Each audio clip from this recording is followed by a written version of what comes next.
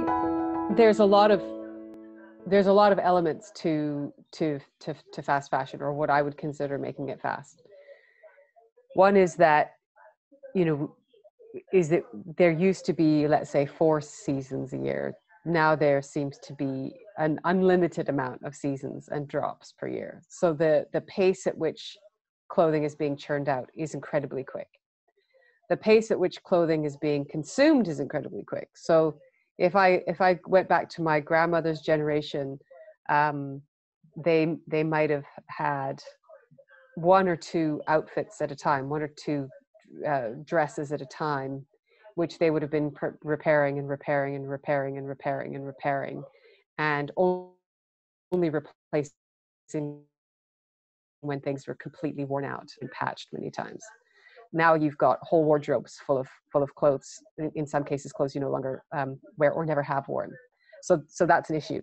Even when um, you have this eco ideal of an item that should be should be worn at least 30 times I, I think 30 times is still too fast. You know i have a black v-neck jumper that i bought from marks and spencer when i first moved to the uk in 2004 I wear it at least once a week and have done since 2004. This is hundreds of times that I've worn this jumper. Okay, so it's it, it's it's a very versatile color. It's a very versatile fit. It's not memorable, which means that nobody notices if you wear it many, many, many, many times. And I think that a lot of people wouldn't describe it as fashion.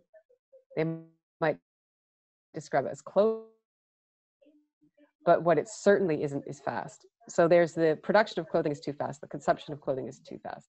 And then you have, because of the, the pace of those two things, you have all of the, the, the wraparound industry being too fast as well.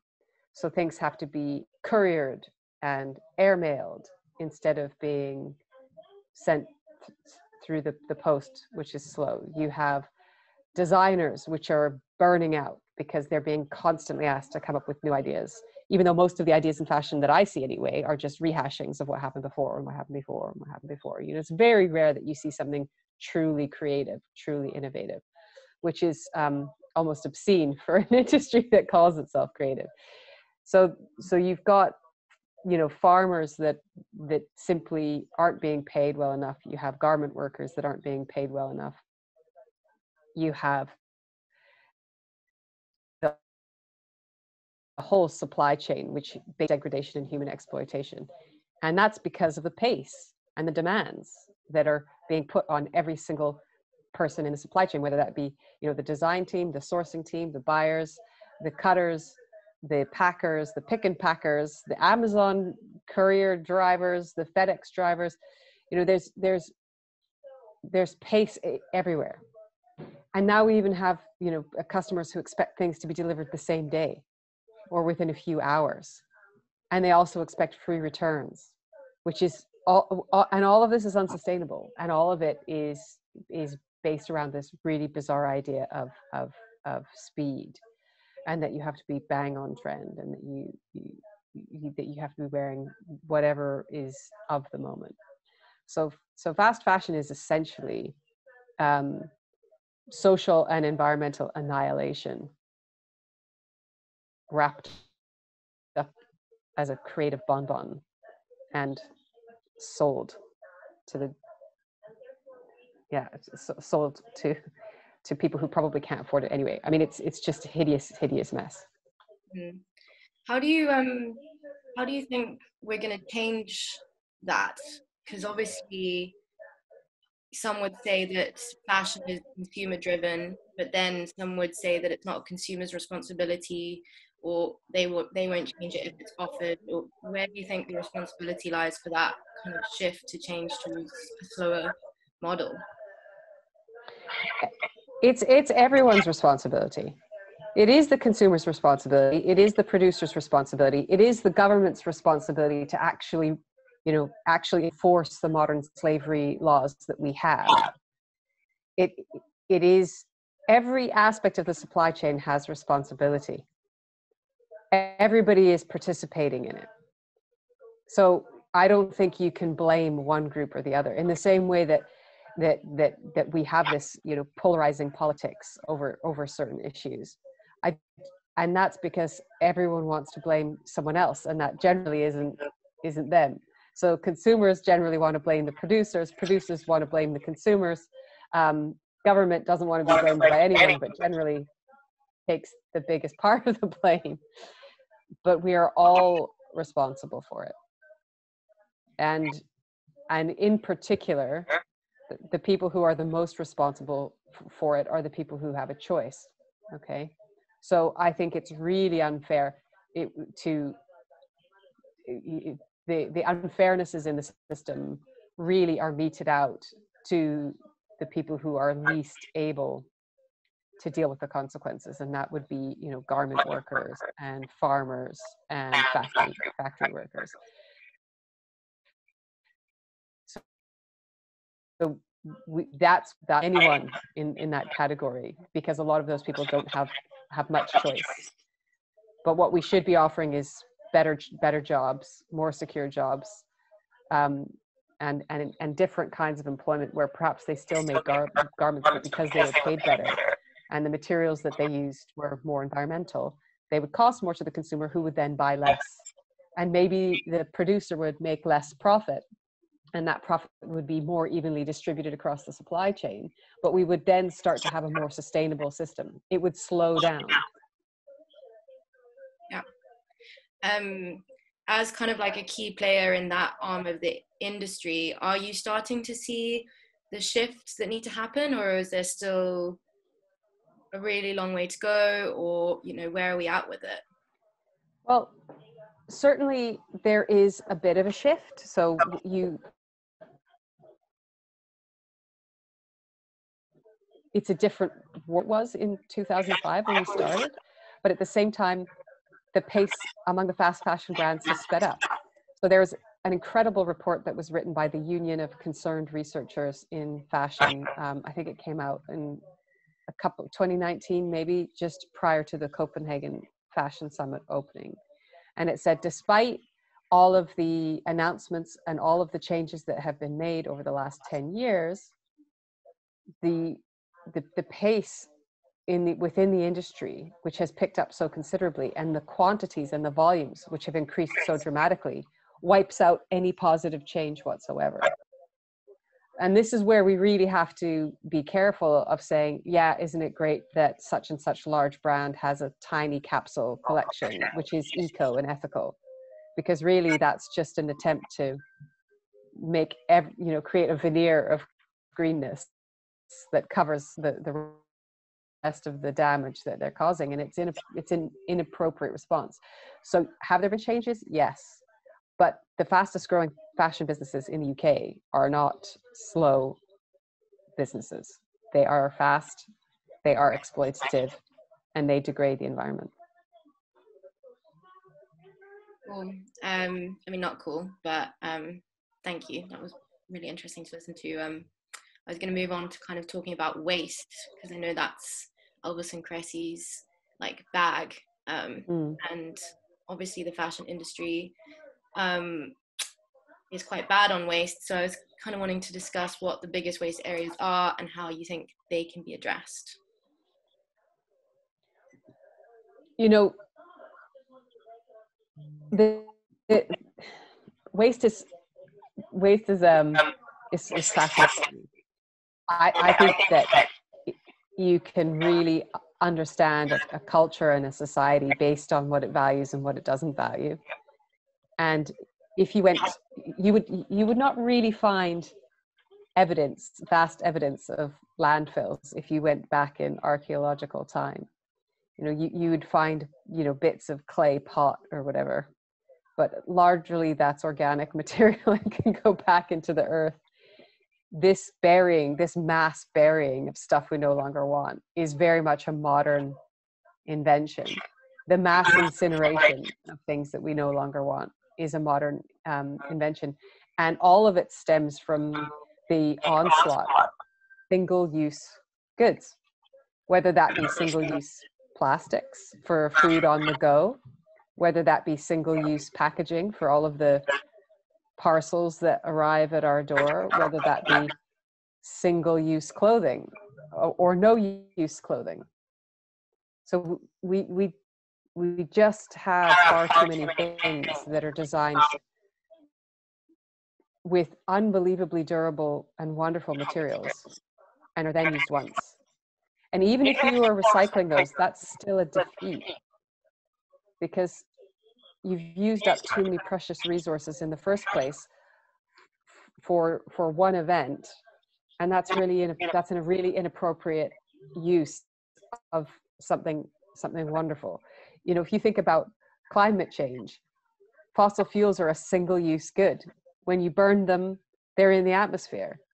And this took tens of millions of years of of of of not of the world working in the way it did to to have organic material compress under layers of soil to create fossil fuels in the first place i.e we cannot create them again. And we have in one century literally burned through a lot of them so that's a single use good.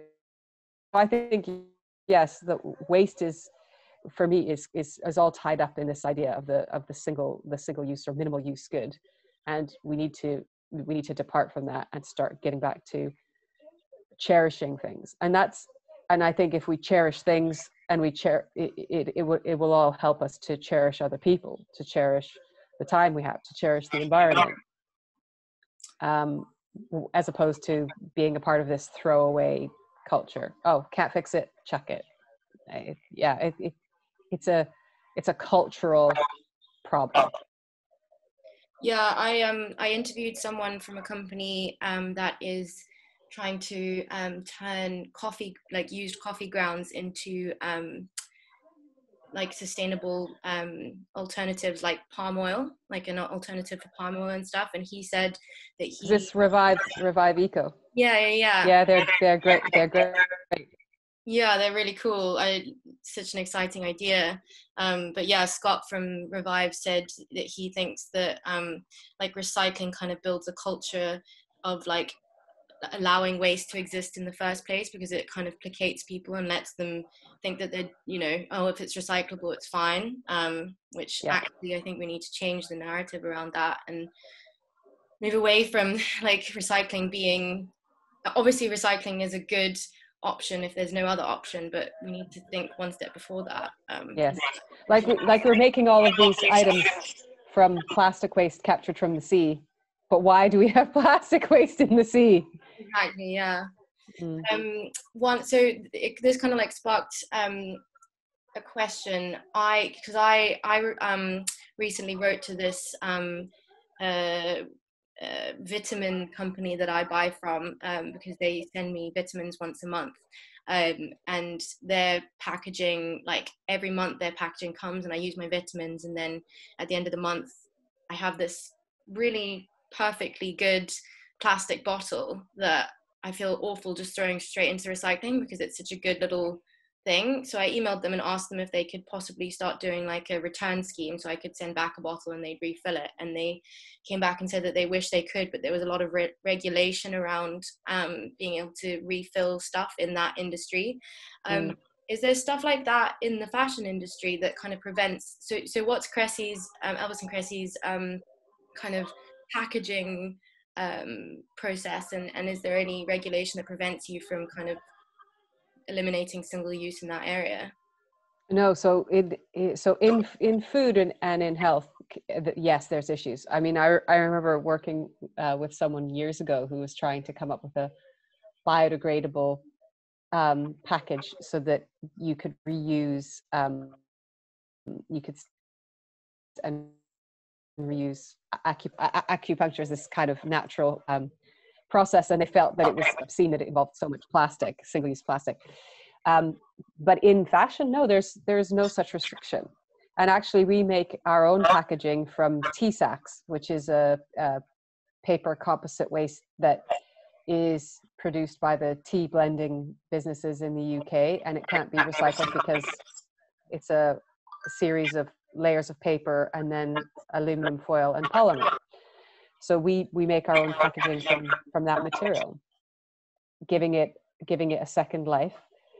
um, and there are there are definitely no restrictions so uh, what i do i do find it quite funny in fashion when people are like oh but we have no other choice we have to use this kind of packaging and i just like mm. yeah. yeah. or have you just not bothered to do some research and find some alternatives or are you so to the idea of um, or closed-minded to the idea of what your customers might actually really cherish and enjoy. So we, we the number of emails that we get from our customers about how much they love the packaging, how much um, the customers that we get that send it back for us to use it again at their own cost is pretty outstanding. And I just think, you know, how many how many customers of some of the big luxury, luxury brands are getting, you know, constant flow of emails like that? I doubt any. So I do I do think that there could be a lot more done in this space. Um, I'm in the in the B Corp space where where we are. So that we're one of the I don't know if you know what a B Corp is, but it's a kind of business that's signed up to um, all kinds of wonderful things. Um, but mostly we're certified against you know how we work with our supply chain, how we work with our colleagues, what our business model is, how we contribute to the environment, et cetera, et cetera, et cetera. Um, but there's a lot of B Corps that are coming together to to work solution within the um, courier space because a lot of the there's a global shortage on cardboard, which has a lot to do with COVID and the fact that lots of people are staying home and ordering things in, which means more usage of cardboard. And yes, cardboard can be recycled, but only a certain number of times. And it would make sense for us to have reusable solutions in that space. So there's there's certainly some work being being done on that, but it's very early days and it's going to be a logistical nightmare. Um, but you know we've they're they're they've cracked reusables in some beauty and some food. So Looped Works is has cracking it with you know has trialed reusable stainless steel pots with Ben and Jerry's and with I think with Ben and Jerry's and with Haagen Dazs if I'm right. So I so it's not like it can't be done. We just need a system in place to encourage it.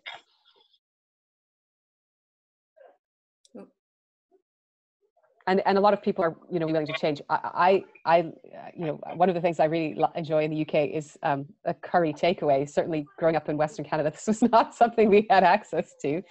But I can't handle the the waste. I can't handle it. It just it means that I wouldn't enjoy the food so the, the so what we've discovered is if you just take a bunch of your tupperwares in obviously not possible at the moment but if you take your tupperwares in they'll just fill them up for you and are actually quite happy to do so because packaging is a big cost for the takeaway industry. And if you're you're saving the packaging then it's great. I remember um, when i lived in hong kong there was a soup delivery service that had stainless steel um, thermos canisters and you paid a deposit when you became part of this soup delivery system and you got your soup three days a week and they would just bring you one and take one away bring you one and take one away and it worked perfectly. I never i was never worried about hygiene. I was never never even remotely concerned about it. Yeah i mean i've i've got that um i've got a little like stainless steel pot that I go and pick my coffee up from from my um, local coffee shop around the corner. And there's just something really enjoyable about about having something that is like forever and that you can take back and you have a conversation with the person who's selling you the product and you know you get to know them and like um if everything in our cupboards um, and in our kitchen became reusable as well like it's just so much more aesthetically pleasing which i know is really not that important but i don't know it just it i don't know i think there's just something so much nicer about would be something so much nicer about a world where we don't have single use and we have things that we reuse and and also how how wonderful is that experience for you? Because so so so they are getting the, the benefit for them is wow what customer loyal not going to get coffee but you you know human beings as a result of that. And i think i think if we're going to get over a lot of the cultural challenges that we that we face which contribute dramatically to climate change and fast fashion and all, and all of these other things and sort of you know rising inequality and selfishness and um, then these kinds of relationships that you form within your community over daily you know goods that you use every day are, is actually quite important. So yes it might be it might be more aesthetic but it's also more heartfelt and more enjoyable and and and probably better for people's mental health if they're engaging with other people in a positive way. Yeah i, can, I completely agree um my next question was going to be what advice would you give people wanting to cut their fashion footprint? But i kind of i mean I, I, would love to know what your advice would be for that as well but i kind of wanted to instead ask what would your advice be to people wanting to like affect change in the fashion industry? In the in yeah like how how can consumers help to build this world that we've you know been talking about? Build this shift yeah so it is it is I mean, I've taken myself out of it because I don't participate in it. You know, uh, we, you know, I if if it's going to be, you have to sort of re- if you're going to buy something new, you have to put a lot of research into it. You have to think long and hard about it. Is it going to be a durable good? Is it going to be something that you really want? So don't ever buy anything that you've just seen for the first time and go, yeah, I kind of like that. If you know, it has to be something you think about for a long time. Or you can buy stuff, uh, you know, secondhand on eBay. You know, I have um we we do all of the the photos that you see on our website are ones we take here. And that means you kind of have to have quite a few outfits to wear. And some of them are outfits i wouldn't normally wear. I don't really wear dresses very often. But i i know you know i know what size i am in a couple of, of brands. So i buy those dresses on ebay and i wear them for a few photo shoots and then i clean them and i sell them on ebay and pass them on to someone else. And and actually bizarrely from a financial financial perspective, I, I have suffered no net loss in that way. So a lot of these clothes retain their value, um, which is why I kind of don't understand the rental model because you, you pay for the use of it and it goes back. Whereas with the e, with the eBay model that I use, I'm I'm you know re- revenue flat as opposed to revenue down. Um, I, de- I definitely would recommend you know getting into the second hand market. I definitely would recommend buying much less and thinking about the choices you make. And I definitely would recommend actually enjoying what fashion is. You know, there's um Olivia Pinnock is, is sort of a great journalist in this space, and she says, "What I don't understand how we love fashion but we hate clothes."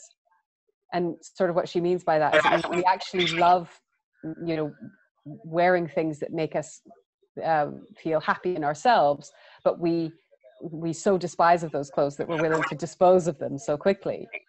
And actually i think people have to get better at expressing who they are through combinations of clothes. Or just understanding what really makes them feel good. I've i've understood for a long time that skinny jeans don't make any sense to me. I don't i just don't understand what's supposed to happen to them at your ankle and how and and in where I grew up, if you wore jeans inside your cowboy boots, that was like a, a just a bizarre thing to do. So I've only ever worn bootcut jeans, and I've had the same pair of jeans since I um, I had the same pair of jeans since I, from when I was 17 till I was about 39, and then they finally died, um, and had you know had to get another uh, another pair because literally they were there was no more patching that could be done. They were obscene. But why is that? Why is that any less fashionable? I'd found a pair of jeans that that worked. And I felt great in them. I felt comfortable in them. If I, you know, you just have to iron a, shirt. And the same, the same, and don't buy a white shirt, buy a black shirt because, because it's easier to give it a long life if it's not white. Um, yeah, so I don't own any white clothes. I, uh, uh, either because I think they're for me they're a disaster. I don't understand white trousers. It's, a, it's to me it's a disaster because they're not going to stay white. They're not going to have a long life. Um, but yeah, I think you just have to take yourself out of it and not participate in it. And then, and then you have to sort of think about what are you going to do with your time and your talent and your skills and what I really want. I mean, you're at your university. That's is that right? Um, no, no, I'm I'm Pawprint's content manager.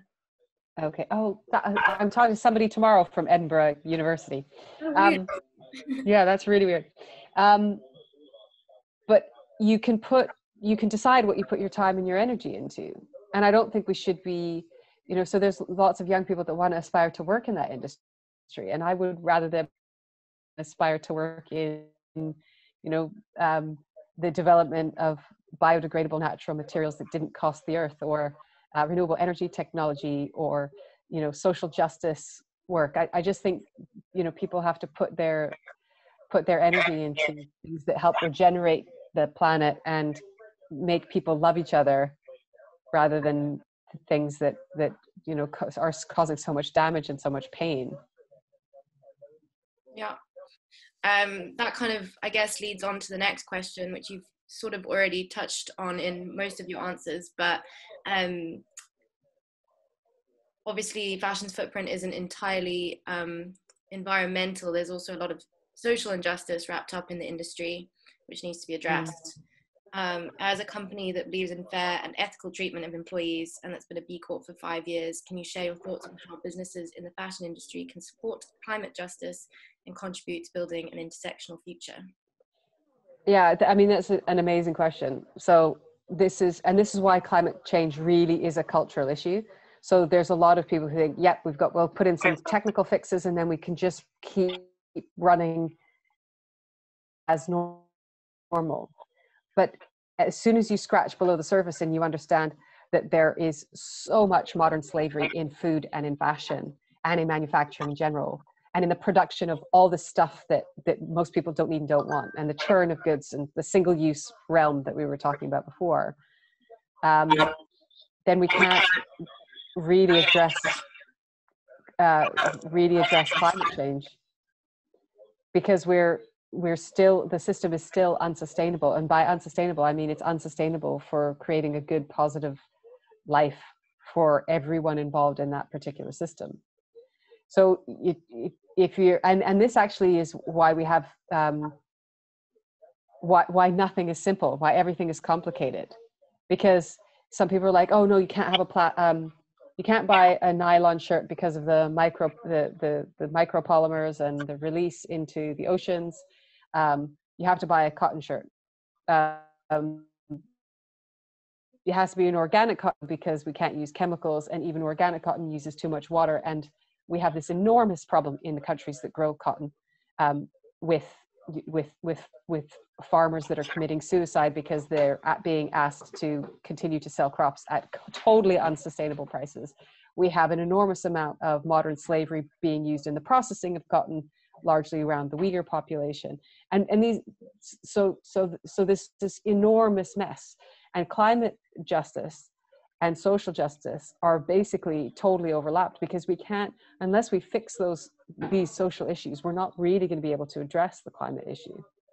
Unless we decide to stop the abuse of human beings and the environment at every level in every country at the same time, then we're not really going to be able to have climate justice because what we're saying is, is it's fine for people to live like in one way in one country but that is all supported by a, a, a, a much lower standard of living by other people in another country. And i just don't I, and that's just i don't know anyone who could who could justify that.